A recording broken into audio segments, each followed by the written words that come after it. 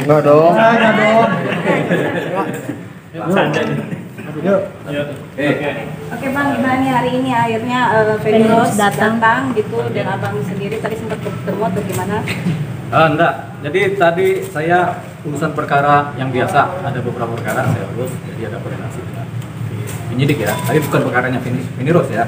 Tapi memang secara kebetulan tadi Pak Vini Rose eh, datang atas eh, panggilan kepolisian yang yang saya sebagai pelapornya. Cuman kita nggak ketemu nggak papasan ya, kita nggak tahu juga. Kebetulan saya kan masuk ke ruang lain, eh, beliau masih di siapa tadi, tapi nggak tahu kemudian ada pangganya. Tapi tadi datang setelah saya tanya ke penyidik memang datang. Sudah di BAP dia. Akhirnya datang juga gimana nih bang? Ya itu tadi ceritanya akhirnya datang. Barusan sempat update gak sih bang penyidik mungkin perkembangannya seperti Oh tadi eh, penyidik barusan aja. Iya, perkembangannya sampai mana mungkin? Ya sudah, jadi sudah beliau sudah di di mana di BAP. Ini kan masih lidik.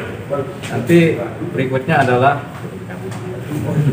berikutnya adalah eh, saksi ahli. Tentu kita harus taat sama prosedur hukum kan, karena setiap eh, ini kan ada yang namanya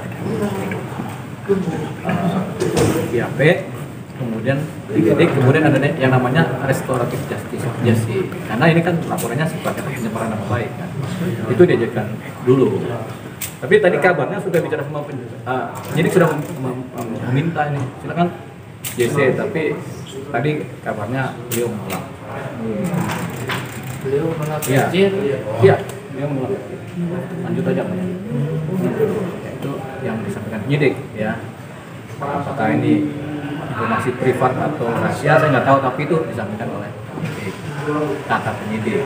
Ya, jadi nggak apa-apa. Berarti kan ini berjalan pada proses eh, yang ketiga yaitu masih dilidik pemeriksaan ahli ahli bahasa ahli bahasa tiga ya ahli bahasa ahli pidana dan yang lain jadi nanti dalam masih mengingatkan ini kan masuk ke wilayah mau Natalan sama tahun baru jadi tanggal 20 ini udah nggak ada pemanggilan karena fokus kepada pengapayan Lanjut tahun depan ya bang. Ya bang menyayangkan gak sih bang?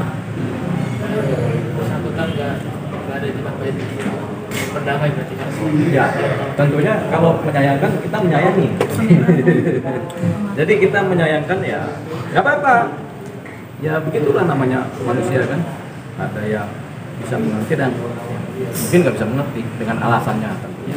Jadi nggak ada persoalan. Yang penting kan ini proses, proses hukum berjalan. Yang kasusnya Penny Rose.